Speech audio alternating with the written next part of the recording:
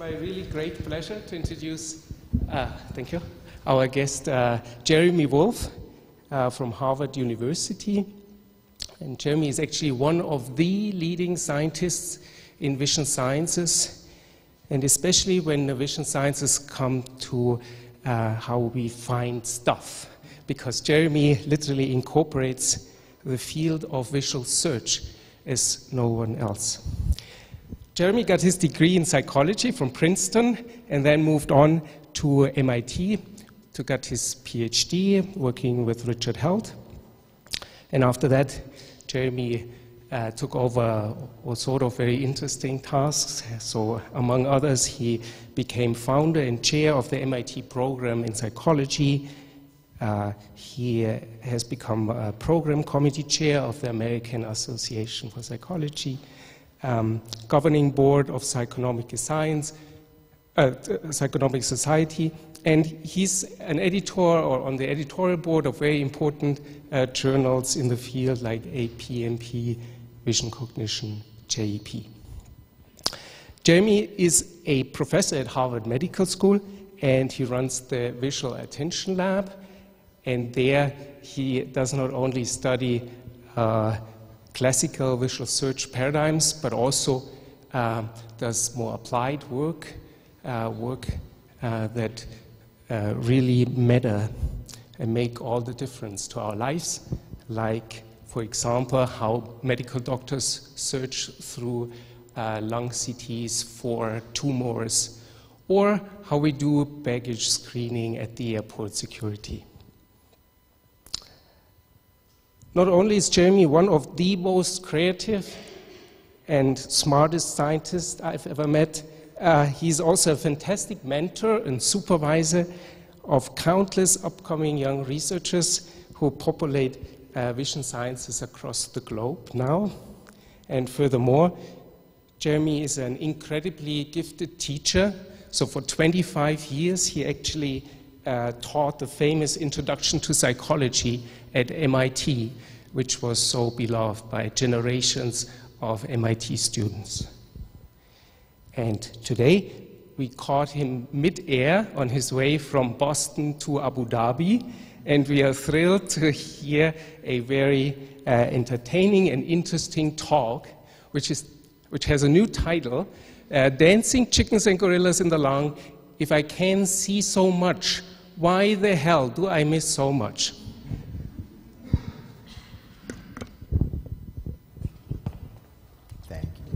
Yep, I got the thing. I turned it on, right? This sounds like it's on. Yes. Good. Thank you very much. Thank you for, for having me. Um, I, I learned that the skiing is very bad in Abu Dhabi, um, so I thought I should, should stop here on the way. Um, and, and also, well, I don't know if Abu, if Abu Dhabi is beautiful. I've never been there, but I, Rovereto is always beautiful, so it's good to be here. Do I want to turn the lights down? Yes. Um, so, what am I going to? Well, the first thing I'm going to do is thank all sorts of parts of the uh, US government for providing money for, uh, for the work that, uh, that I do. That's probably good. Um, and then let me tell you the broad plan for the talk. I will tell you, as, as Daniel mentioned, I work on visual search. How do you find what you are looking for? Um, so I will talk a bit about why do we search at all, and then I will say something about why we miss things when we search, why we are not always successful, and um, then I'll say something about why we should care about this sort of, well, we should all care about it in a, uh, in a, in a place like this because we are fascinated by the basic science, but why should all of them care about this? Um, and whoop, there we go. All right, so let me tell you a little bit about um, why we search at all. And um, the, so you have these pictures? Yes. What is he called in Italy? Is Waldo in Italy? Okay, in, in, in Germany it's Vali, right? So, okay, and you can be looking for Waldo all you like here. He's not in this picture. Um, but if I say, uh, where is the lion? You can easily find the lion, right? And um, there are a couple, there are several points that this makes for us. One of them is that there was something that you had to search for the lion. You didn't immediately, when the, the image came up, you did not immediately know there was a lion. But there was something here, right? There was something there before it was a lion. So, what is that? That is, we, we can call that problem the problem of pre attentive vision. What is it that is seen at a location before attention arrives there? Then we have the problem of attention. How do you get attention onto the lion? And we can also ask about the problem of post attentive vision, which is if I, if I say, okay, now move your attention to this pink bus, is this, is this still a lion in the same sense? You know cognitively that there's still a lion here, but is it still visually a lion um, in the same way? And I'll try to say a little bit about each of these, each of these problems. Um, the pre attentive problem uh, goes back quite a long way. The uh, French philosopher Condillac was talking about it in the 18th century. He did not use the term pre attentive. Um, but what he was imagining was a situation where you come to a chateau at nighttime, and um, in the morning, your host opens the curtains and he asks, What's the first thing that you see? And, he's, uh, and, and, and he says that you will just see little regions of color and, and form. You won't initially know what you are looking at. And this is really a lovely description of pre attentive vision um, before we had the, the, this language for it. I don't have a chateau, um, but I have curtains here. So I will open these curtains for you, and then I need you to tell me what you see. All right? You ready? Okay, what did you see? You have to say this louder. Crosses, crosses. Okay, some kids. We got we got crosses. What else? X. So X. So we get we got cross and X. We got that part. Okay. Uh, or we have to. We'll, we will lead the audience a little. Were there any colors? Yes. What colors did you see? Red, green, yellow, blue, black, thank you. Nobody says purple because there was no purple. So, so you said you saw some pluses, good. Um, colors, I had to ask you, but you knew that it's red and green and blue and yellow. Um, you saw some X's, so you were getting something about the orientation.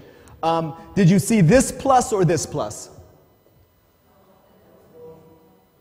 Okay, I heard left, I heard right, I heard both. Those are the possibilities. Thank you. Um, so I'll show you what you saw. This is, this is the original image, and, and both is the right answer. There are examples of red vertical and red horizontal here. But the really important point here is you were guessing.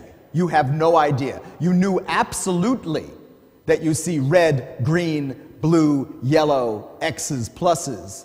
That you get everywhere immediately, pre attentively. But how those features go together, you do not know.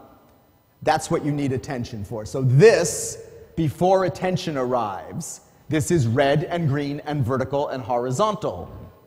So is this. Also, red, green, vertical, and horizontal. They're essentially the same thing before your attention arrives. You need attention. Whoops. Oh, we'll do this here. Let's demonstrate this. So, I want you to look for this target, the one with the red vertical and green horizontal. This time I won't flash it, I leave it up there.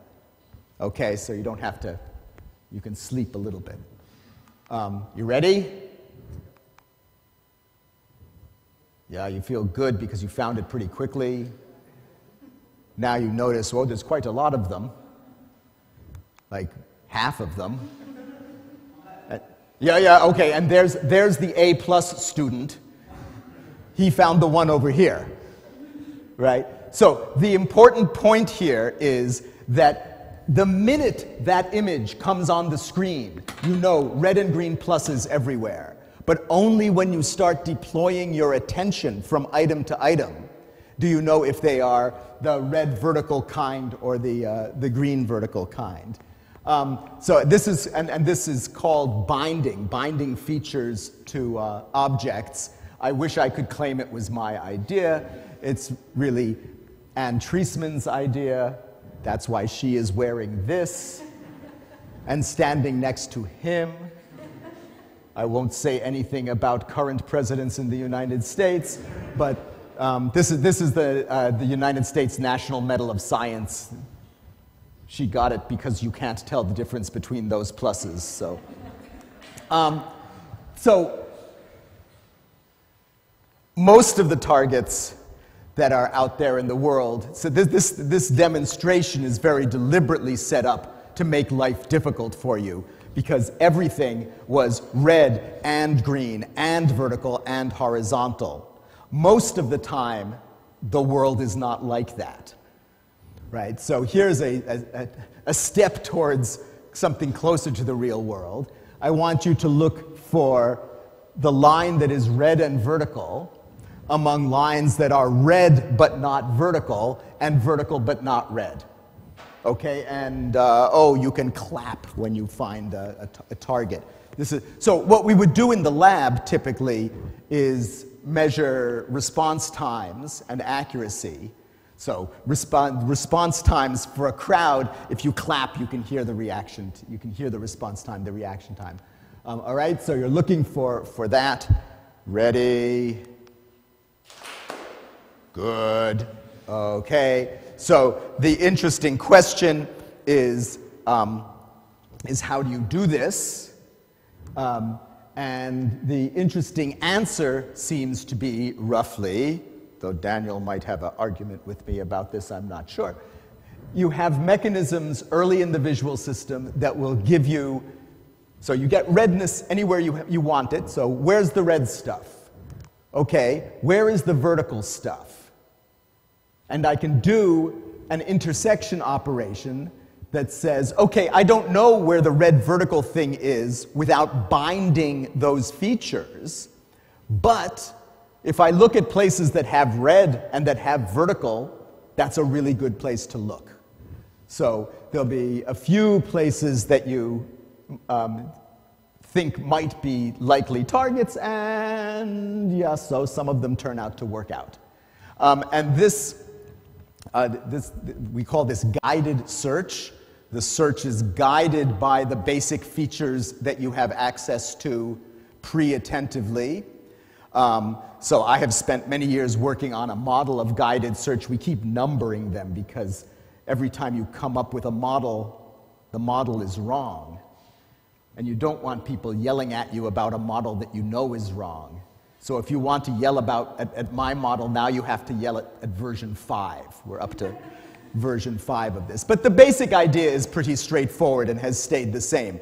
If you're trying to find something um, where binding is required, you use the basic feature information to guide your attention to those targets. Now, there's a limited set of features that you can use to guide your attention. I, color we saw already, uh, orientation, curvature, something about shape that we don't really quite understand, um, and then some more complicated things like lighting direction. There's a list of maybe one to two dozen features that can guide your attention, and that's it. And even within a feature, they are very coarse. So in orientation, you don't say, I would like to find everything that is 10 degrees to the left. You can say left, that's probably right for you. Right, left, steep, shallow. If I was any good, I'd say that in Italian, but I can't. Um, and that's it. It's like four, four terms in orientation. A size, big, small, that's it. You can't even guide your attention to the medium size. So, very few a few features, coarsely defined, that's what guides your attention around. And a lot of things don't work.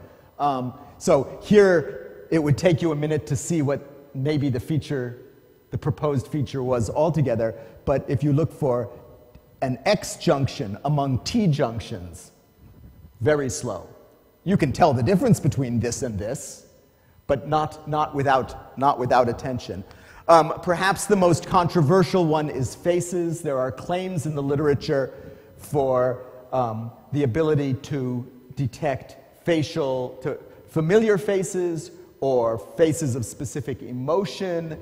Um, I won't talk about this extensively, but I think the, the, the, pattern of results here has been over the years. Somebody says, oh, you can find angry faces pre attentively, and then somebody else finds the, the stimulus artifact. Um, and I would say that you do not have an ability to guide to specific kinds of faces. Other people would disagree with me, and I would disagree with them. Um, but so faces you can fight about. If you're a face person, it's okay. Um, all right, so this is, um, this is basic guided search. There's more to guidance than just these basic features. And I thank Melissa Vo in large part for bringing that to, uh, to my lab some years ago, but not this picture. I forget, have you seen this picture? You have seen this picture. Okay, anyway, this is a, I made this picture originally um, because we'll see later. Um, I, have been working with radiologists, and if you're looking for lung cancer in an x ray, what you're looking for are so called lung nodules, which are basically small, white, round structures in the lung. Okay, so small, white, round, look for golf balls. All right? Let's see. How did you do? You found that one, yeah? You feel good because you found that one? You didn't find those five? No, you missed that one too. Now, think about it. What's one of the things that is interesting here is that the ones that you missed, particularly that one, is that's this, is more salient than the ones that you found. So, you know, if you wrote a little piece of MATLAB code to find um, those golf balls, it would find those perfectly easily. Um, but you didn't. Now, why did you, why did you fail? You failed because you guide your attention not only to the features of the target you are looking, you, you, are, you are looking for, but you also guide your attention to the properties, based on the properties of the scene. Where is it likely that you will find something? So if I am uh, looking for, oh, I can look for Clayton because I don't even, I haven't found, oh, there he is. So I just found Clayton. He's sitting way out in the back. Um, that's good. It would be embarrassing if it turned out he wasn't here. Um, that's a target absent trial, but it would still be embarrassing. Anyway, how did I look for him? So I'm looking for objects of human size, scaled by distance. That's an interesting, different problem. But I'm looking for objects of human size, maybe roughly vertical, and human shape is good too. Um, but I also, when I'm searching for Clayton, I spent no time looking at the chandelier and no time looking at blank areas of the wall because he's just not going to be there. The properties of the scene will guide my attention uh, also. And we can use language borrowed from the study of language to talk about these properties, and I will define them in ways that Melissa never likes, but I'm close. Um, but you can talk about syntactic or structural guidance, places where um, objects could be. So, uh, a, a, a, good example of um, a syntactic violation in Clayton's search would be he shouldn't be floating in the air because, because people don't float, right? Um, and semantic guidance would be um, where it's meaningful for the object to be, where it's sensible for the object to be, even if it's physically possible. So, um, you know, Clayton could have been lying on this table. Nothing physically wrong with that, but it would have been a little strange. So that would be, that would be semantic um, guidance. Um, that's Melissa. Melissa, Melissa uh, came to my lab saying that she thinks that these are um, really separable processes in the brain, like um, uh, uh, the actual linguistic processing that they are named after. And so she took a whole collection of pictures, half of them in my living room, I think, where you have, um, you know, here's a sensible scene where the mouse is sitting next to the computer. Here is a semantic violation where that, what's that soap doing next to the computer? It's perfectly legal, but it doesn't make any sense. Um, and here's a sort of a syntactic violation where um, it's physically possible, but the computer, uh, the, the, the, mouse has no business being here. Um, and, well, the, I, I will, when you want the details about this, you talk to Melissa. But the short answer is that syntactic and semantic violations actually have different uh, signals in ERP. They really seem to be different types of information that the brain is using to guide your attention um, around a scene. Um, so we have this notion that in the beginning of your visual system, you know, your retina is taking in information from everywhere. There is a very powerful bottleneck in that processing that allows you to bind the features, but only of one or many, maybe a very small number of objects at the same time. Access to that bottleneck, the ability to go into that bottleneck, is controlled by this guiding mechanism. So if you're looking for the red vertical line, you feed red things into here because those are the ones you want to bind. Um, and then you end up recognizing that bound object in some fashion. But if you go back to that lion at the beginning, something, there's a non selective pathway that's allowing something to get in from everywhere. So you see something everywhere, um, and you only recognize maybe one object or a few objects at any one moment. I can give you a little bit of a feeling for this idea of seeing something everywhere. Here's some more clapping part. This time, what I'm going to do is I'm going to show you um, one image after the other very quickly, and you have to clap when you see the, uh, a, a, a chimpanzee. You ready? Just, where's my little mouse? There it goes. Okay, this is easy right? If you didn't get it, that's okay. Um, but, uh, you know, it happens.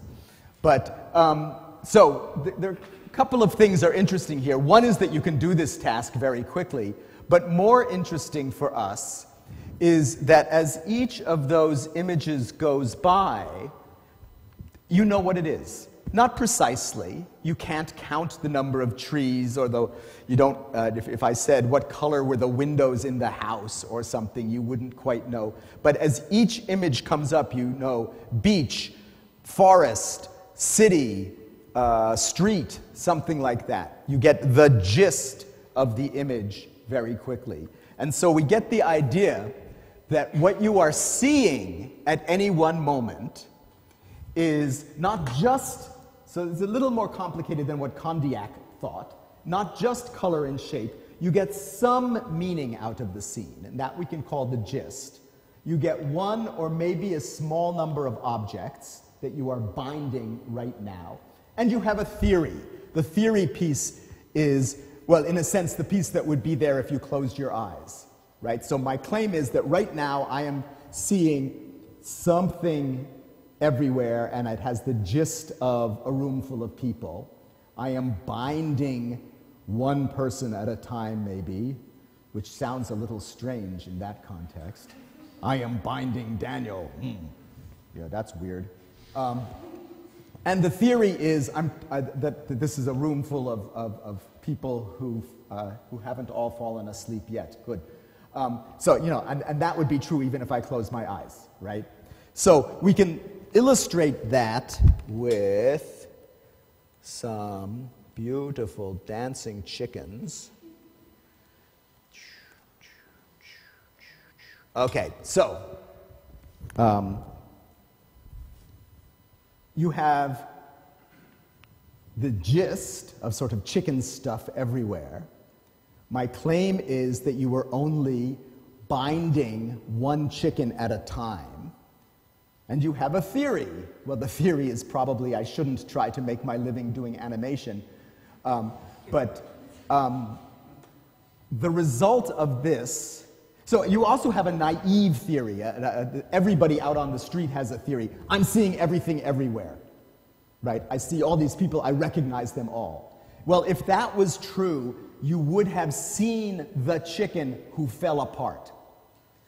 Now, there are maybe 40 people here, there are 20 chickens, so there are two, maybe three people, not counting Melissa, who saw the chickens before, um, who saw the chicken fall apart. One, ooh, ooh, this is a very advanced group. We're up to six. Um, and the rest of you are sitting there saying, everybody saw this image twice. Um, it's not just that you weren't looking straight at it. If you look over here, you can easily tell still that that chicken is falling apart. It's that if you were not paying attention to the chicken when it fell apart, it simply did not register. You could, it didn't disrupt the, the gist, you know, chicken stuff everywhere. You know, oops, where'd my chicken bits go? There's still chicken bits. Um, it, didn't, um, uh, it didn't disrupt your memory, and you just didn't bind that object. So you did not know that it, it, it was there anywhere. Um, and now you may have noticed that this one has, has, has fallen apart on you. So um, at any given moment, you see something everywhere, but you see less than you think you saw. Um, this is part of the answer to why do we miss things. You think you have looked at everything, but you haven't bound all of the objects and you stop looking before, uh, before you find everything. Um, well, okay, so dancing chickens are nice, uh, but why, why, should you actually, uh, why should you actually care about it? You should care about these things because we pay, well, because there are very important tasks that we do um, and that we get experts to do that require these processes. Um, there are very important tasks we do all day long, right? Where is my cat? This is very important, um, but we don't pay experts to look for your cat mostly. But we pay experts to uh, look through x rays of luggage for guns, bombs, and knives. We pay experts to look at uh, this is a, uh, a, mammogram looking for breast cancer. Um, we pay the intelligence community to look at photographs and try to figure out. I don't remember where this is. This is maybe Iraq, but you know what's going on on the ground here. And there is good reason to think that mistakes that are made, that many of the mistakes that are made in these sorts of tasks, are made uh, because of problems with visual attention. Not personality problems because the, the, the, screener was lazy, not, not because the image is invisible, but really problems with attention. Um, how do we know that? One way we know that is because of uh, this sort of a phenomenon. So in North America, um, breast cancer screening, 20 to 30% of cancers are missed on screening.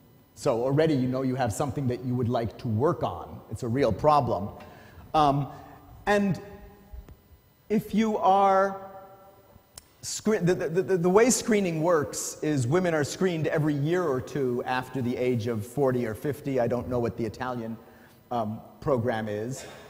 So if you find something in 2017 the first thing you are going to do is look at the images from 2015, 2016, because you want to know if this is changing. That's, that, that would be clinically important. And what you discover at very high rates is that the cancer you found in 2017 is retrospectively visible.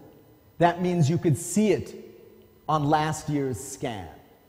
And um, it's not that we think that large numbers of radiologists are bad or lazy or something. It's just that there's a very big difference between saying, is there cancer here? That's what you're doing in screening. Or saying, is that cancer?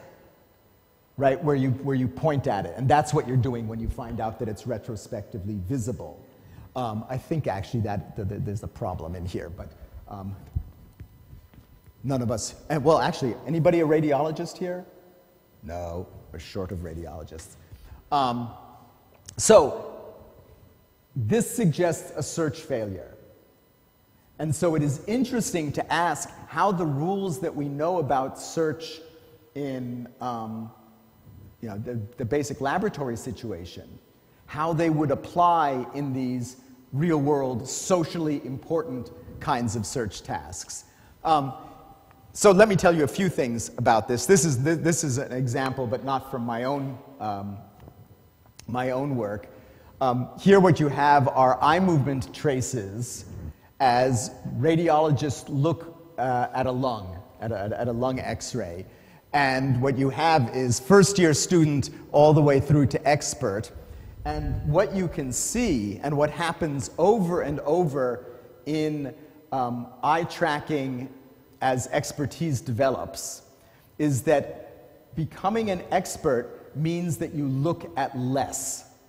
You, uh, part of, well, you've already done this. When the, the, the golf ball example, the reason you failed to find those weird golf balls is because you are miniature golf experts in some sense. You know where it makes sense to look for golf balls. And so if you walk into a weird lecture, you might miss the ones that I pasted in the sky. But normally you will find, if, if there are golf balls to be found, you will find them. And so when you are a novice, you don't know where in this lung it makes sense for there to be lung nodules or whatever. You look everywhere. When you are an expert, you can say, this piece of lung today, this is like sky. There's just nothing there. I don't need to examine it this piece of lung I, I, need, um, I need to look at. So you learn where, to, where not to look is an important part of becoming a, uh, a, a search expert. Um, let me tell you something about the gist, this, this idea of gist processing um, in expert search. We'll, we'll, we'll stick with uh, cancer here. One of the interesting things that you learn when you work with search experts like radiologists um, but I've heard the same story from uh, intelligence community people and from um, baggage screening people. Sometimes they say, when that image first comes up on the screen, I know it's bad, or I know it's interesting, or something. I have a feeling. Well, that's nice. Um, we don't know if this feeling means anything, so um, we thought we would find out is there really maybe a gist of breast cancer?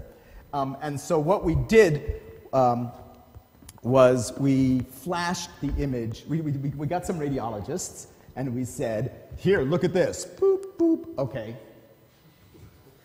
Tell us, would you recall this woman? Would you bring her back for further exams? The first time we tried this, they got angry with us. They said, I would never do medical diagnosis in a quarter of a second. And we said, yes, yes, we understand that. This is an experiment. Um, but it, it, was, it was a nice cultural violation problem. Um, they were actually offended by our paradigm. So we learned to talk very nicely to them. We, in this case, is most notably Karla Evans, now at York, um, who was a postdoc in the lab. Michelle Greene was also a postdoc, and Diane, uh, Georgian-Smith, and Robyn Birdwell are radiologists from my, uh, from my hospital. And, oh, and we ran the experiment at, it's very hard to test radiologists, right? Uh, so do you require your first year uh, undergraduates to be um, subjects in psychology experiments? Or do you pay them? What, both, okay. Not to, you don't just round them up with a, a, a cattle prod and a, no, okay, good. It is very hard to say you know, we're looking for radiologists. We'll pay you $10.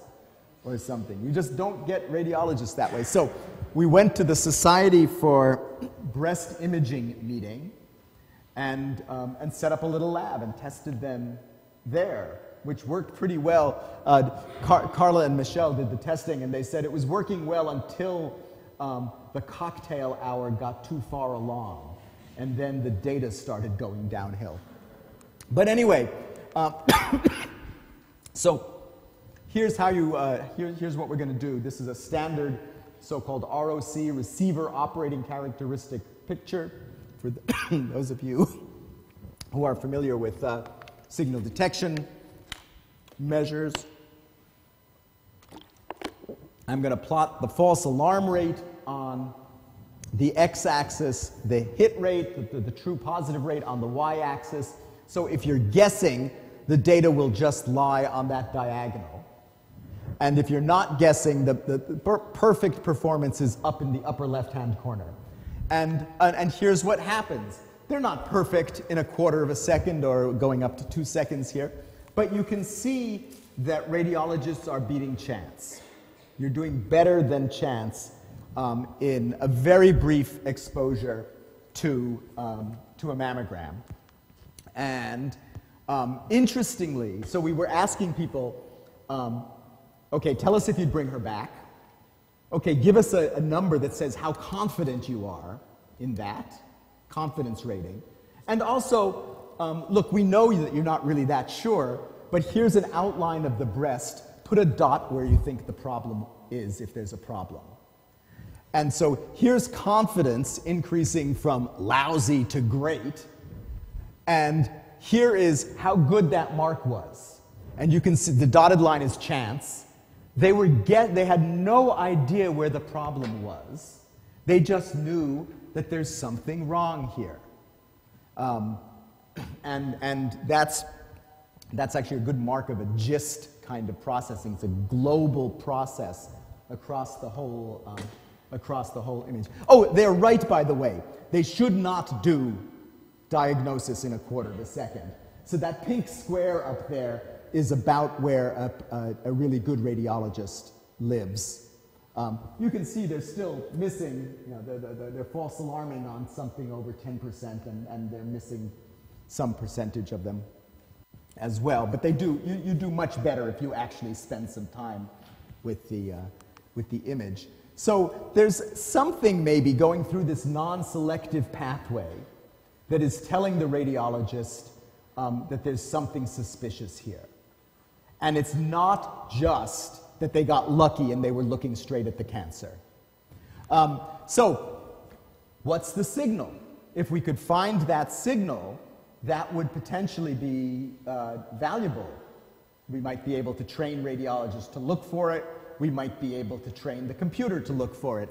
So here's one way to find out. We're going to repeat the experiment showing the normal breast image, or we're going to filter it. We can low pass filter um, or we can high pass filter. High pass filter gives you the finicky, finicky little details like a cartoon almost. Low pass gives you, is basically blurring. Um, the, uh, oh, wait, we can, do, we can do a poll here. If you had to guess how many people vote, there's a signal here, how many people vote that there's more signal in the low pass versus how many vote for the high pass signal? So how many people vote for signal in the low pass? Okay. How many people vote for signal in the high pass? How many people say, nobody's making me vote here, I'm just going to. they got me with the golf balls, I'm not playing this game again. Um, all right, so didn't get much of an interesting result to my poll here. I'll show you the answer. Here's the basic replication of the original finding. Uh, the dotted lines are from individual subjects. So you can see everybody is lying above chance. Here's the, the high spatial frequency, the high pass filter data. It's about the same. The low spatial frequency is much worse. Um, if you are a normal seeing or low level vision person, that's backwards from what you might have expected. Um, normally, you think that in a brief flash, you just get the low spatial frequency information, but actually, apparently, it's the high spatial frequencies where the signal lies. That's sort of interesting. Oh, if any of you happen to be mammography experts, you will know that one of the sign, one of the risk factors for breast cancer is so-called dense breasts. Um, this is a, a undense breast. That's a, a, a, dense breast. You can see, if nothing else, that it would be harder to find stuff there. But there's a, a biological risk factor beyond. Um, the signal we're looking at is not breast density. It's the, their performance is uncorrelated with breast density. So something in the high spatial frequencies, not density. Um, we were thinking, we were showing, the, the, the way that, uh, that, that uh, radiologists typically look at these images initially is a, a pair of breasts, left, left and right, unsurprisingly.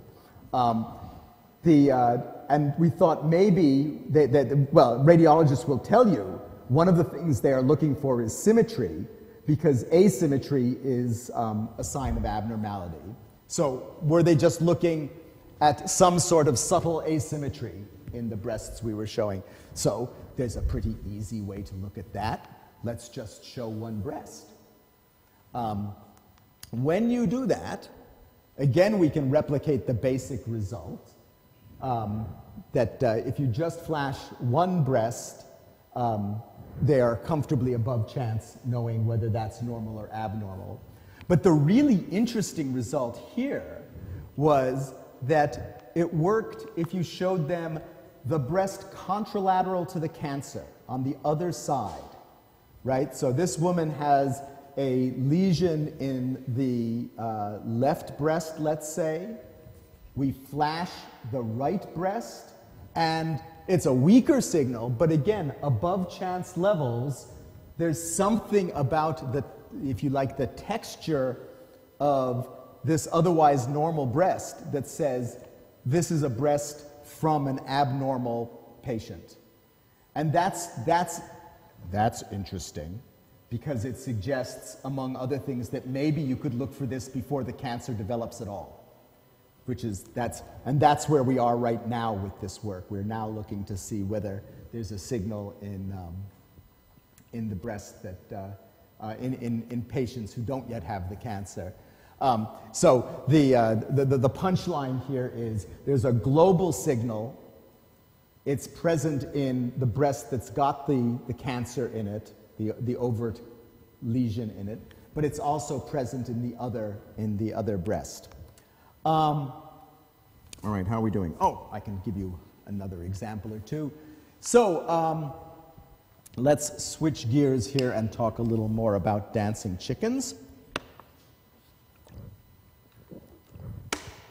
And so I, most of you are probably familiar with, well, I should ask, how many of you are familiar with the, the, the great gorilla experiment of Dan Simons'? Uh, I'm not seeing everybody's hand here. Now I'm seeing everybody's hand because they feel embarrassed if they're. Okay, I quickly tell you this experiment. You're watching this video and they're passing the ball around, and you have to say how many times the people with the white shirts touched the ball. Um, it's you know, not impossible, it's a hard task. So while you are watching that, a woman in a gorilla suit walks through the middle of the, uh, of, of the video, whoops, hits her microphone, um, and walks out. And then afterwards, you, you're asked, How many times did the white team touch the ball? Yeah, okay, that's good. Did you see anything else? Hmm, no. Did you see maybe a gorilla? And it's like the destroyed chicken thing. They say, What? And then you show them the movie again and they say, Oh, yeah, that gorilla. So you miss it completely.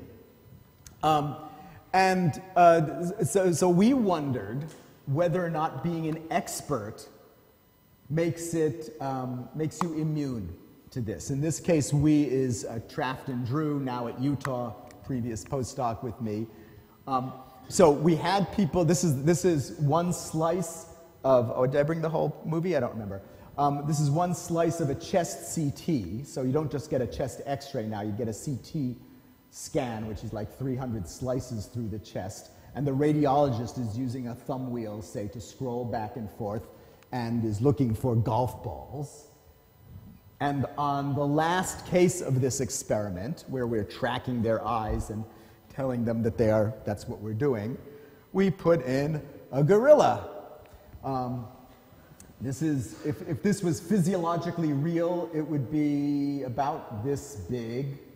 Um, and, uh, and 20 of 24 radiologists failed to mention it at all, uh, which it, there are several things to say about this. One is they were guiding their attention to small, white, and round. That's going to make them less likely to find big, black, and shaggy. You might think this is very unfair because they would never be looking for a gorilla. But if you are a radiologist, your job, so if you're, you're a radiologist doing lung cancer screening, what you are taught is report whether there are signs of lung cancer and also report anything else of clinical interest. That's so-called, these are so-called incidental findings.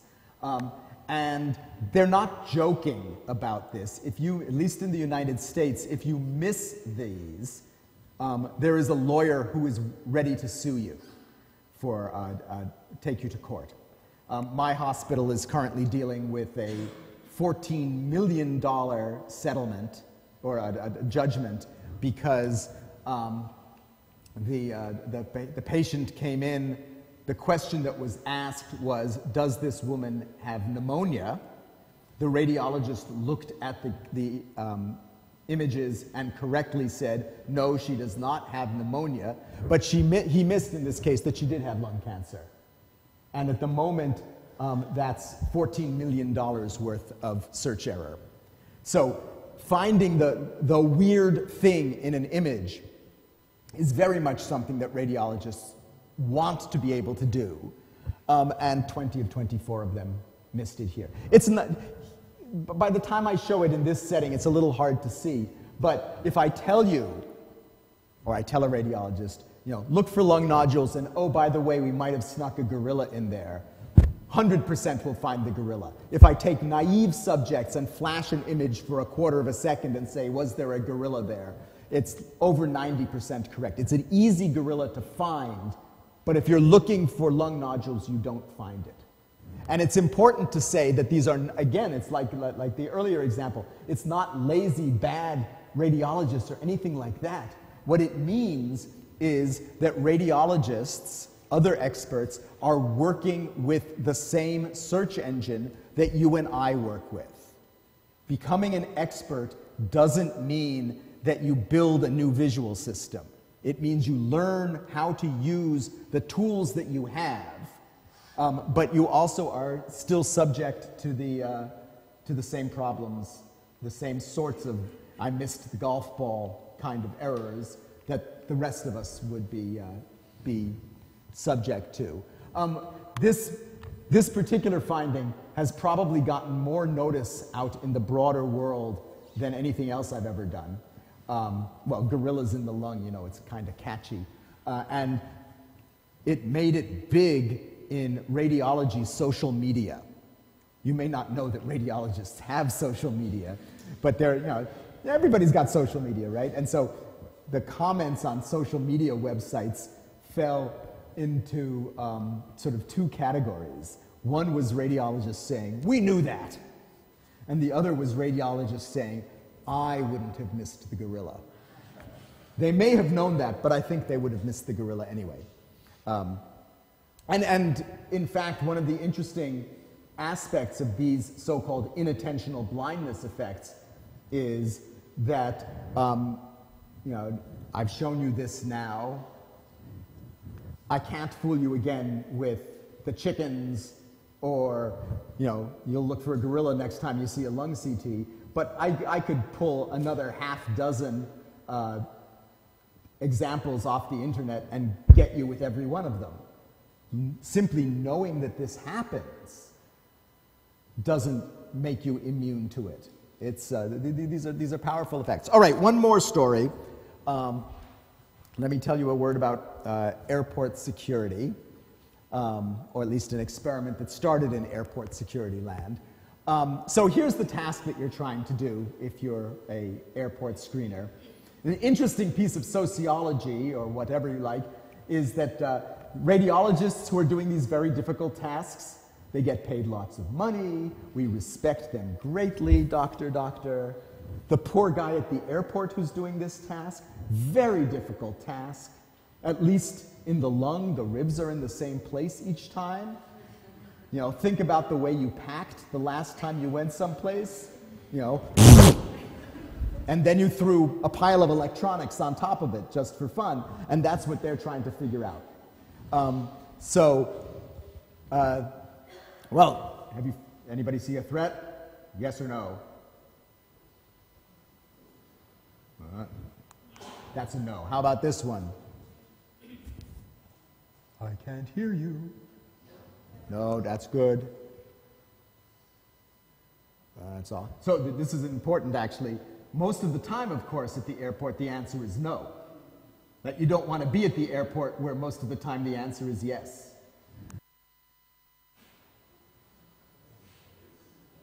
Yeah, yeah, what did you find? Yeah, yeah, that's a knife. Right. Knives are the easy stuff. Knives and guns are the easy stuff. What you're looking for mostly are guns, bombs, and knives. When we've done this in the lab, we only do knives and guns because bombs are too hard. Um, because you know, it's not like the old cartoons. The bomb is like a thing with a fuse on top. Um, what you're looking for, if you're, let's see, do I have a good example here? Okay, this would be pretty good. What you're looking for, the, the colors are not arbitrary. This is a dual energy X-ray. Blue means metal, orange means organic, green is in between. Um, what you're looking for, if you're looking for an explosive, is a chunk of organic material big enough to be a piece of plastic explosive that could blow a hole in a plane. And you're looking for a detonator, um, something that's going to set it off. And that's typically, well, if you want to test the airport security at your airport, I do not suggest this is a good idea unless you didn't want to go home to visit your mother or whatever.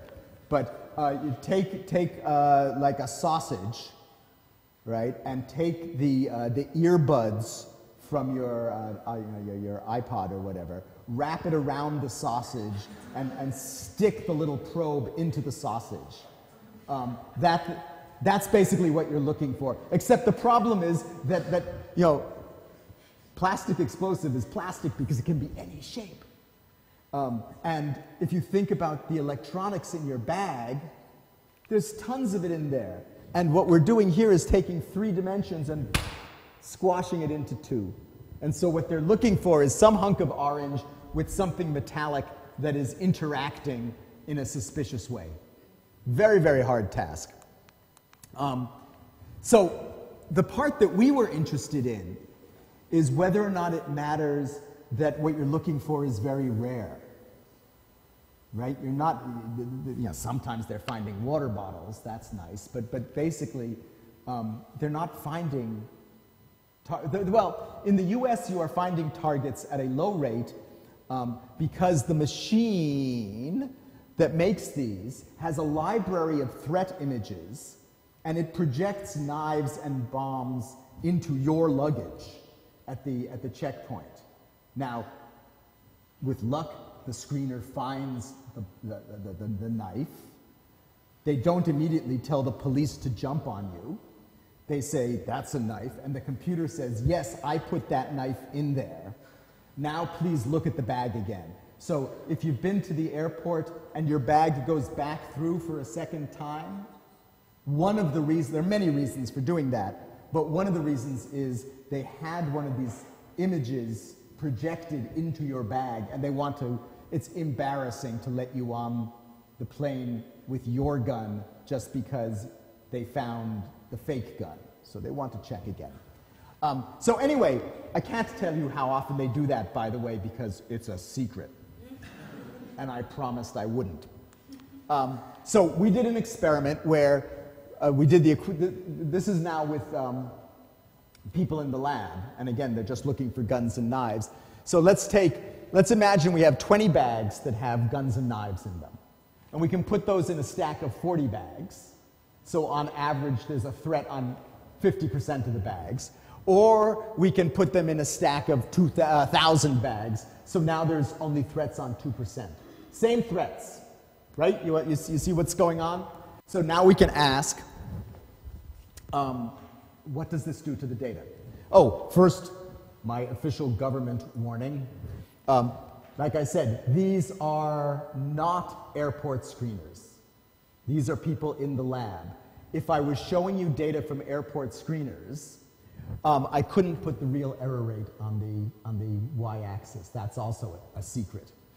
I can tell you that the error rate is above zero, but you knew that. Um, but but uh, so th these, are, these are data from the lab. But okay, here is high prevalence, target on 50% of the trials. With these particular stimuli and these particular subjects, we miss 20% of them. Same exact threats, now at low prevalence, they miss twice as many. Right? So the, the shorthand is that if you don't um, find it often, you often don't find it that rare things are missed more often. If you look at the false alarms, those errors go the other way. If you're a signal detection person, you will recognize this as the image of a criterion shift, and that's a big piece of this effect. It's not the whole story, but it's a big piece. But okay, that's the lab. In the last minute and a half, would this ever happen in the real world? So we did this in, we'll go back to mammography land. Um, with a bit of work, again, Karla Evans did the main part of the work, we um, slid cases into normal practice at the hospital where we knew the truth, right? And, and, and so we could do, we could have a low prevalence situation in the hospital. So we had 100 cases, 50 with cancer, 50 without. We either had them slow, less than one case a day at the hospital, or all read at once, all 100 read at once. So this is the high prevalence, that's low prevalence. Here's what the data look like.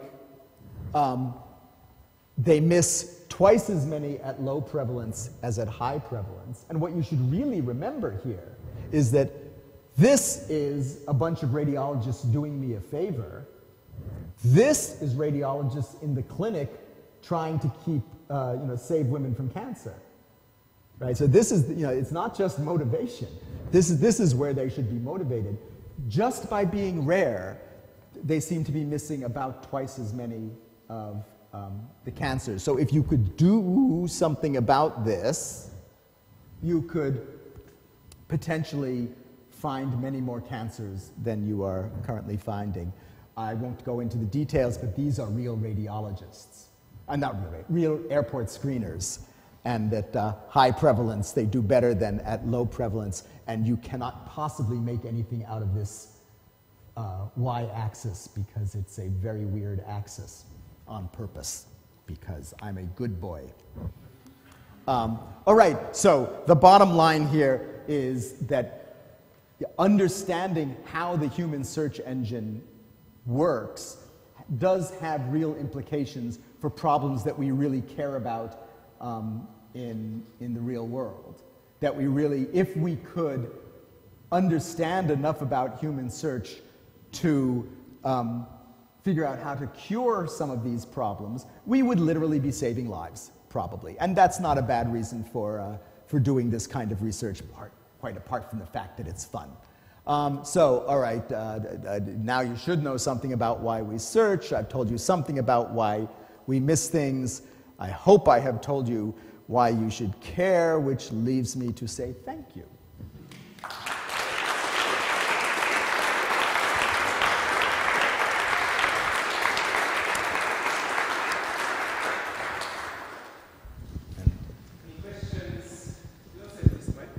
Yeah, yeah, that's right.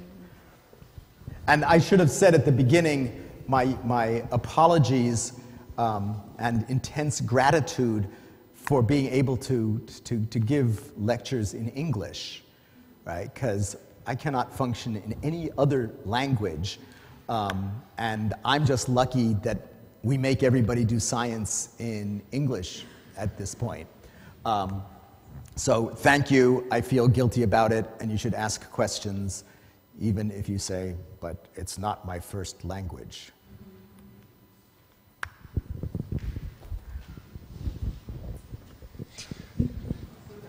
I feel judged now. Are you in the spotlight now? Yeah, exactly. So uh, thank you again for the talk. I was wondering when we were watching this, all these pictures of uh, mammographies. Like I read, I read in a, um, somewhere I don't remember actually where, but like one solution to this attentional problem is to to ask multiple radiologists to make the same evaluation on the same um, same picture and. Uh, I'm wondering whether like attention, uh, this attention problem actually can be decreased by having multiple evaluations over the same stimulus. Yeah, so there are a couple, so the question is, why not double read all the, all the mammograms? Well, you, actually, you were going for multiple. Um, double uh, in several European countries, uh, every mammogram is double read. Um, and, that does, and it certainly does uh, cut down on error rates. It particularly cuts down on the false positive rate, actually. That, so there are two errors here. One is the one that we tend to focus on is, oh my goodness, we missed this cancer. But um, in the US, you recall, you, you bring back for more exams 10% of women um, at considerable cost and at real psychological cost. It, it, it's, very, uh, it's very scary to be told we need to look at more. Um, and double reading cuts down on, on, on those uh, errors, not done in the US. Um, one of the reasons, the primary reason, is it's expensive. That um, getting the the radiologists are already um, complaining very loudly about the workload, and you, you, can't, you can't trivially double it. Um, it, it, it it's, uh, that's, that's a tricky problem. The other interesting problem is that um, these, the errors are not independent, right? You'd get big bang for uh, double reading tasks. We, we tried this with the prevalence problem, right? We, we, we told Homeland Security, you know, the airport security people in the US, that we were going to solve their problem. You know, you're making 30% errors in this task that we were showing them. Um, well, gee, if we get two people to look at that, that's 0.3 times 0.3. we're down to uh, 9% error. Great! Um, but the errors are highly correlated. The, the, cases that you miss at low prevalence, both people will miss, even though they might both find the same ones at, at high prevalence. So double reading is certainly helpful. Um, it's not as helpful as you would like, and it's expensive. So, you know, there's, there are various solutions that are like, uh, that, that, go down this path. One possibility is um, don't, um, uh, don't get too expensive doctors to look at both images. Train um, some baggage screeners or something to look at the image and get them to look with very uh, uh, liberal threshold. You know, anything that looks suspicious, I want you to give me 20% of these cases, I want you to say, looks suspicious. And then the radiologist only reads those 20%. That's one way, that, that, that's a possible way to do it. It's got its own problems, but uh, anyway, it's a good idea that doesn't quite work as well as we would hope. What else have we got? Iski just wondering, just if, for example, if you use exogenous cueing to, to kind of guide people through these images, because the moment you point out, hey, there is a gorilla, and I know that you can't point out every single pixel on, on a, an image, but if you used a very structural exogenous cue, say follow this, follow this, follow that, and tell me yes or no, yes or no, yes or no, yes or no. Have you have you thought about using something So- like that to guide to guide? Yeah, so of course, you, what you can't do is cue the gorilla because if you knew where the gorilla was, the game is over already. So then you just get, you know, the computer to do it. Um, but there are various strategies. Um, if you are doing satellite images, right, you're trying to decide did the North Koreans build a new missile base? Um, the standard thing to do is to force uh, a pattern of uh, basically moving systematically through the image. That, you know, that, that's one way, it's not, not quite an exogenous cue, it's just a, a, a forced pattern, but the principle is the same. You want to get people to cover everything. You can be smarter about this by running a, um, uh, an algorithm over your image and saying, make sure you look here, here, here, and here, um, because we think those are the interesting places um, in this image. Those are so called computer aided detection systems. Um, and they have their own interesting problems. So if, if you could build the computer to just do the task, it's, you're, you're done, right? And, and uh, I was just at, a couple of months ago now, the, the, the big radiology meeting, which was full of deep learning uh, discussion and papers because the radiologists are scared to death that the, the, the next smart deep learning network simply puts them out of business. Not yet, don't worry about it, but, um, but anyway, if you could do that, then it's, the, radi- the, the, the, the, deep learning network really doesn't have attention problems in the same way. But now what we've got is computer systems that can find, let's say, 90% of the cancers and false alarms on 10% of images. And that's about as good as an expert radiologist. But it's not good enough to work by yourself. So it puts marks on the image to tell the radiologist, look here and look here. Um, and you have a good radiologist and a good computer, and you put them together, and you get almost no benefit. And that's an interesting mystery why this is the case. One of the reasons seems to be this prevalence problem. So imagine you have a, hun- a thousand cases, and there, in, in, that will typically give you three cancers in a screening population. Okay, let's say the computer finds all three. It also finds 100 um, false positives, and it delivers that now to the radiologist. Okay, that means that any given mark has about a 3% chance of being valid.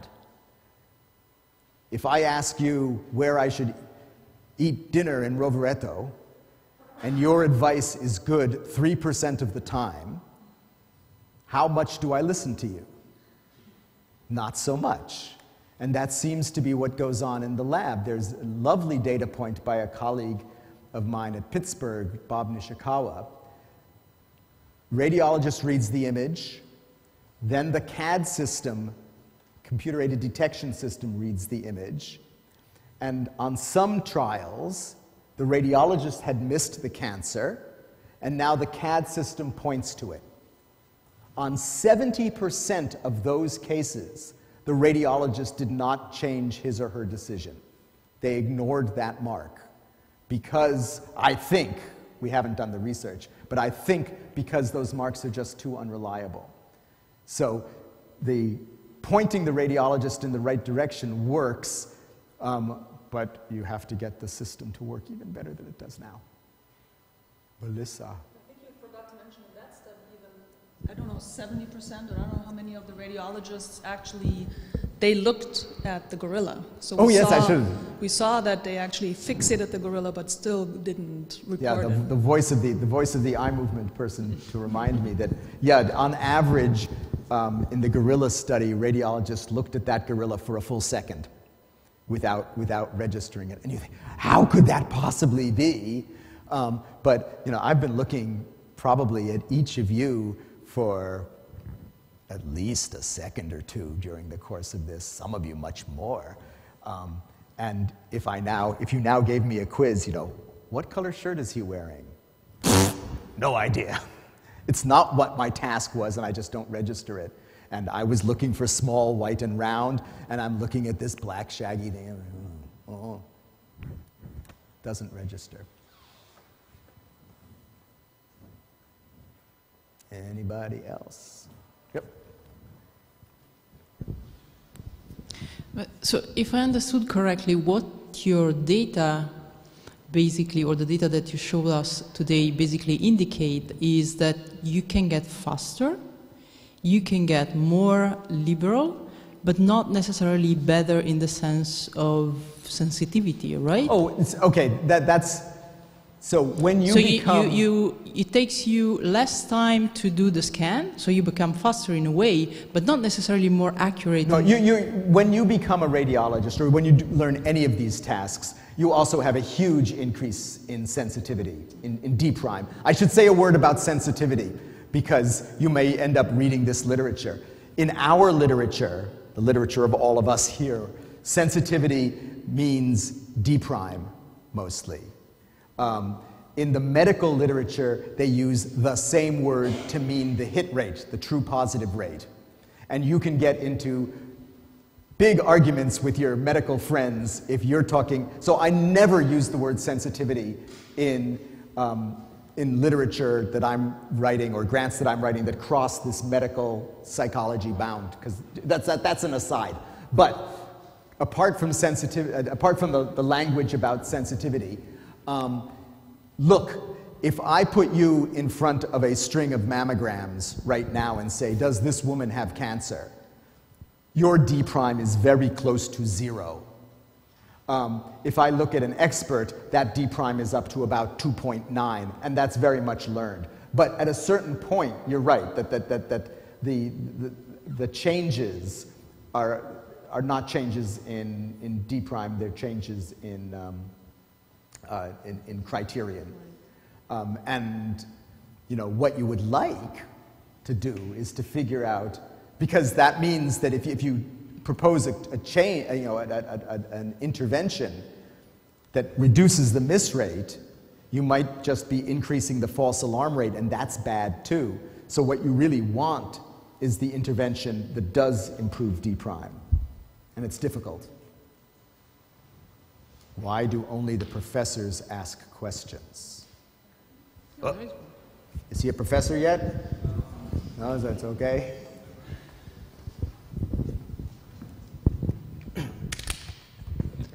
Well, my question is, um, what what do you think about mm, like um, computational tools for feature extraction? Do you think that the bottleneck will be the point where these computational tools are based on the neural physiological way of computing, and this will lead to get to the point where, close to the point where, uh, well, the radiologist is not trusting the algorithm, but is not trusting the algorithm because he is not, he would not even trust another radiologist saying and the thing which is not the same which he thinks. I, well, I, I, think you are pointing to the fact that um, for most of these kinds of tasks, um, there are a set of images that will always be ambiguous. That the computer, could, you know, the, the computer or, the, or a well-trained radiologist would both be unsure about this. And um, this is actually another problem with this kind of research. We're used to doing experiments where, you know, in visual search, let's say, you know if the target is present or not. You put it there. Um, getting stimuli where you know the truth for sure, unless you want completely trivial stuff, is very difficult in this in, in, in radiology because good radiologists disagree because these things are in, inherently ambiguous and, and the standard for the, the gold standard for what is truth for, say, cancer is that it's proven by pathology, right? You went and did a biopsy, and the pathologist said, yes, that's cancer. Well, it turns out that the pathologist also isn't sure. And two pathologists, I mean, again, it's better than, you know, it's, it's not d prime of zero, but these stimuli are inherently ambiguous. So um, this is partly why a, a, lot of the work in the uh, in, in, in medicine is to find uh, biomarkers that go around the, the, the, the, visual stimulus altogether. Right? If you, if you have a blood test that says, um, yes, if and only if you have cancer, that's very useful. You know, then you get away, get away from this. But for now, we're stuck with this, some of the stimuli being inherently ambiguous. Yeah. I mean, do you think that it will be possible to go over to the point where a human can detect? I mean, a, an algorithm can detect better than a human does, or? Yes, I think that should be possible. Um, if only because um, the algorithm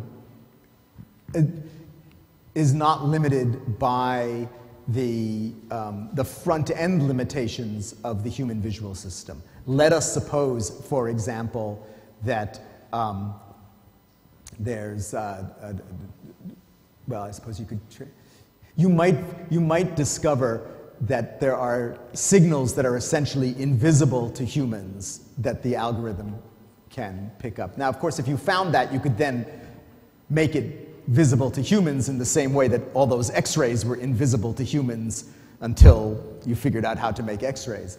But yeah, I think, I think there may well be signals in there that a, a human just wouldn't see. It's hard to, that's, what the, that's, that, that's the, the, the cool promise about um, deep learning networks, right? I don't know how it works, but it's magic and it works. And so that's good. If, and if the magic worked in the clinic, we'd use it. All right, oh, oh, no, out, oh, now all of a sudden there's way out in the cheap seats back. Oh, no, you don't get a chance. Okay, so you have talked about uh, collaborative approaches between an algorithm that extract features and a person that then maybe looks in particular at the, um, at the locations that that algorithm has pointed to. Has anybody tried using uh, a competitive approach, where, for example, the machine tries to outdo and find something where the human hasn't found anything, and then maybe gives the, the data back to the human which, who says, no, it's impossible that the machine has found something, and so forth?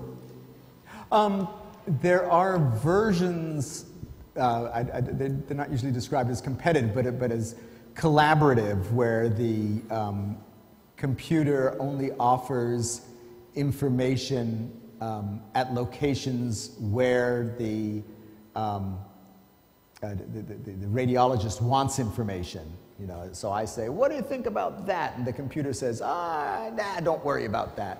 Um, I haven't heard of a version where the computer deliberately tries to look where you, or, or uh, look for things where you didn't look in some sense. Though um, one of the, but going back to the gorilla piece where people looked at the gorilla for, and, and still didn't call it, one of the things that has been tried um, and in small studies does work is if I track your eyes, um, you will, there, uh, sometimes you will look at something it will be puzzling enough that you will look at it quite a lot, but you won't call it cancer, and you won't particularly be aware of the fact that you spent time scrutinizing it.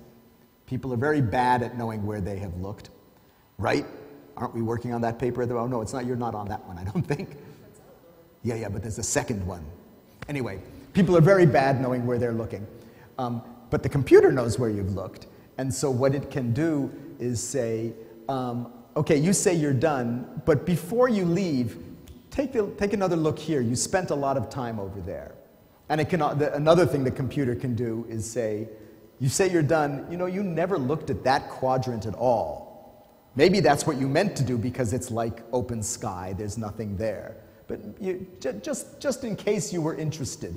And you can imagine this gets um, potentially more valuable if you're not just looking at one image, but now you're looking at that stack of images that you take for a, a CT image. Now you have to say, did I look at this entire 3D volume? And you can use the computer collaboratively to, to work with you on that.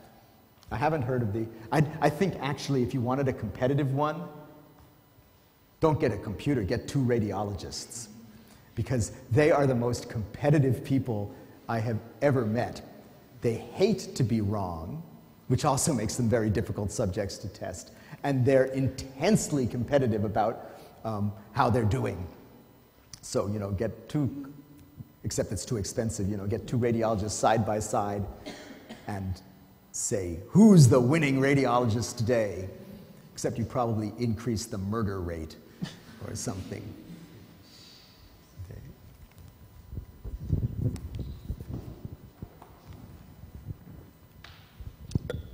Um, I have a question related to how specifically humans uh, how uh, this being so bad, basically, with our visual attention is specific to our human brain architecture and to what extent this is uh, something that we inherit from our uh, ancestors. And so, how, how do monkey do with these uh, kinds of tasks? Your turn, Daniel.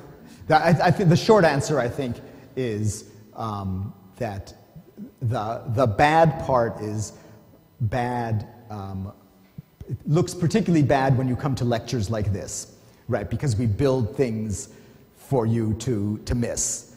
Um, and that what's really quite remarkable is how well we do most of the time. But I, I think that the constraints on um, why we are bad are uh, largely computational. You simply can't, you can't afford to build a brain big enough to do everything everywhere all at once. And I think that, you know, goes all the way down the, uh, that, that will go straight down the evolutionary ladder. There's, there's, no, there's, there's no market in getting your cat to do radiology. Um, they're not going to be fast. Though it does turn out that um, uh, macaque monkeys, you know, the, the, the, the, find the red vertical thing, that I did earlier, macaque monkey is better than you at that. But it's, it's, it, it, it, it's quantitatively better. It's not doing something completely different. It's just that, uh, you know, the macaque isn't really worrying about his dinner reservation or something, and he's. Uh, that, does that seem fair to you, Daniel? I think so. Yeah. If at all, it comes from distraction. What people, what humans think about otherwise. In general, I think there's no quality.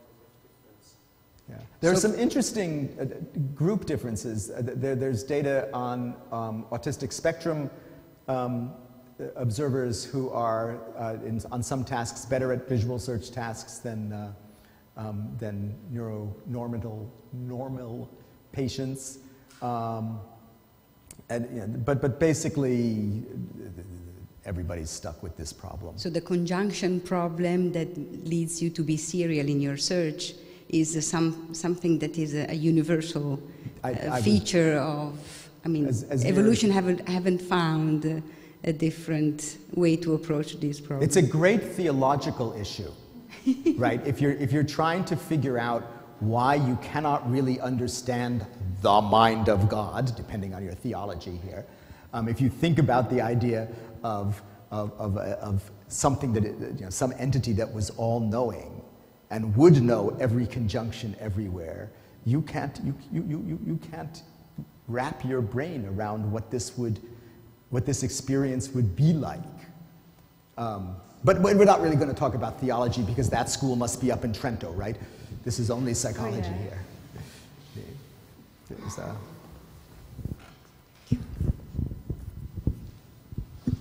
well, something popped up in my mind.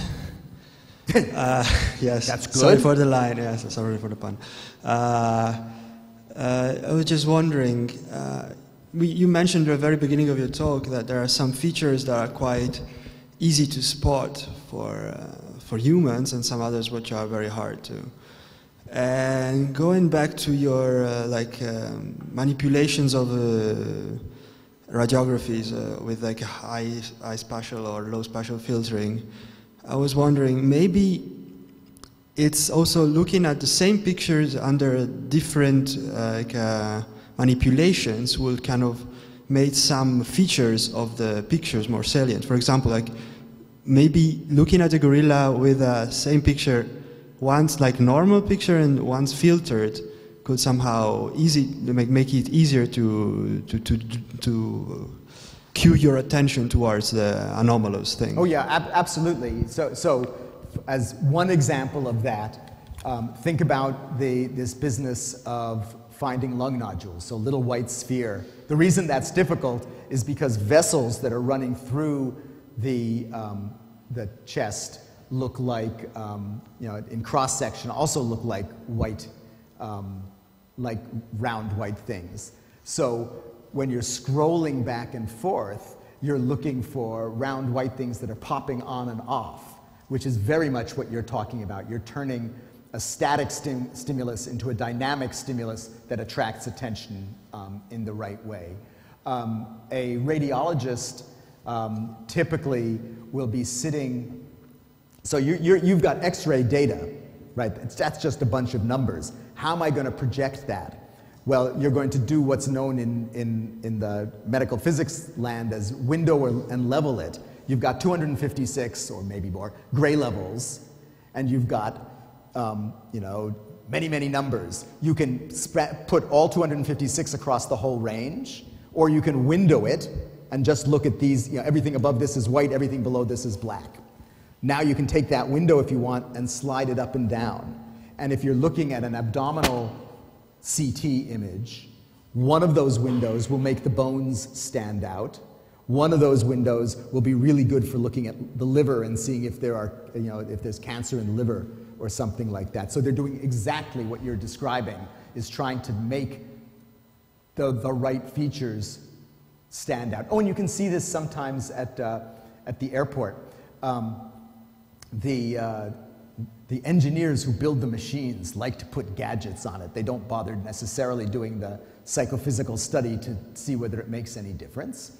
But um, they have, for instance, the ability to just reverse um, positive negative on the image. And you can see, as, as if you look at the um, screeners as you go through the checkpoint, you can see some of them really love toggling that. So they're, they're just toggling the colors back and forth because they think that it's enhancing. Some, nobody's done the study to see if that's true, but, but they're, they are working exactly on your your hypothesis there. Daniel, do you want to? Oh, no, oh, um, so I'd like to go back to the uh, comment that you made about uh, two radiologists that compete with one another and think of this situation in relation to the radiologist and the computer who's there to assist him and probably, or maybe, there is less competition with the computer. Um, well, this is not necessarily known, I mean, it can go in various ways, but my point is the following. So there was a study a couple of years ago that if you were to remember something and you type in this in a computer, and, the, uh, and you're told that uh, by the end of the session, uh, what you wrote in the computer will be erased, or what you wrote in the computer will remain, uh, actually the memory that you have is worse in the case that you know that the computer will also memorize what you oh, wrote there. Uh-huh. So is is in the literature on uh, cognitive offloading, and I'm wondering whether there could be a, a similar issue also here when uh, you're searching for something, and you know that there is another entity, either a person or a computer, that is also searching for something. One could say that actually this could make you worse if you're not in a competitive situation because you're offloading part of your processes in the mind of something else that can be the computer. And now I'll go to the speculative, widely speculative and provocative step and say maybe one reason why, uh, for uh, as social species as we are, and many other social species, do not need to actually uh, become autistic in the way we find things in the environment, is that we actually cooperate in searching. Oh, that that's going to make us. Well, I, so, so a, a whole arm of my research that I did not talk about here is um, foraging work, where you're looking for not just one target, but, but picking, uh, like picking berries.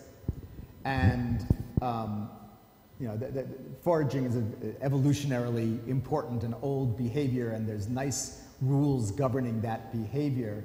Um, and there you might see the opposite kinds of effects because you've got um, the berry that he picks, you aren't going to get.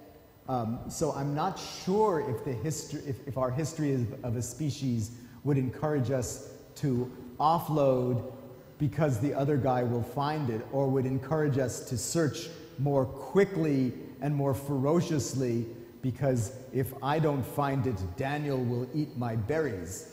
And, and, um, but I'm trying to think if there's a. Uh, I, I, I, the, the cognitive offloading issue is interesting in, in these sorts of expert tasks because we now can count so much more on um, computer resources. If I'm not quite sure what this kind of cancer looks like, I no longer have to go down to the library and look for it. It will be immediately available on my, um, on my workstation. And I don't, uh, that, that, well, look, it certainly makes us all lazier in the rest of our lives, right? I no longer know how to spell anything, and I no longer, I didn't know how to spell anything before, and I no longer um, uh, uh, know anybody's phone number because I've offloaded it to my iPhone. And pretty soon I won't need to be embarrassed that I don't know any Italian because Google Translate will just take care of it all and you'll all have your, you know, you'll just all listen on, on your, your iPhone. Um, that's, I, I, the, the, the, offloading thing is interesting. I'll have to think more about that to see if I can think of an example in the. Okay, does he?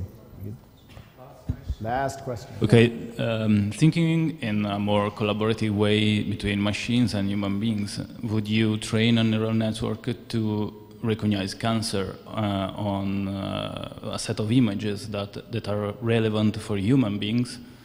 Or maybe you just try to, I don't know, mm, choose another set of images that are not relevant for the feature of the human uh, vision? So, but, so the, the question is, do, do you want to train your uh, computer to do the task that a human vision, visual system is doing, or do you want to train it to do something else?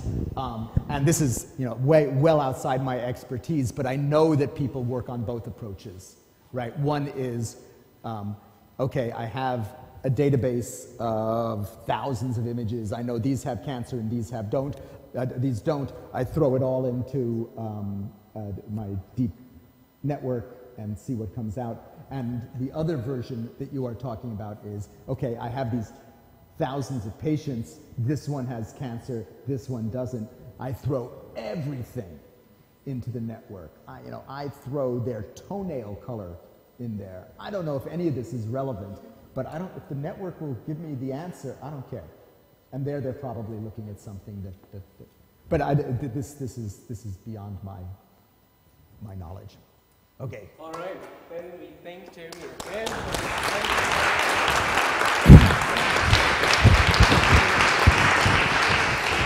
Thank you.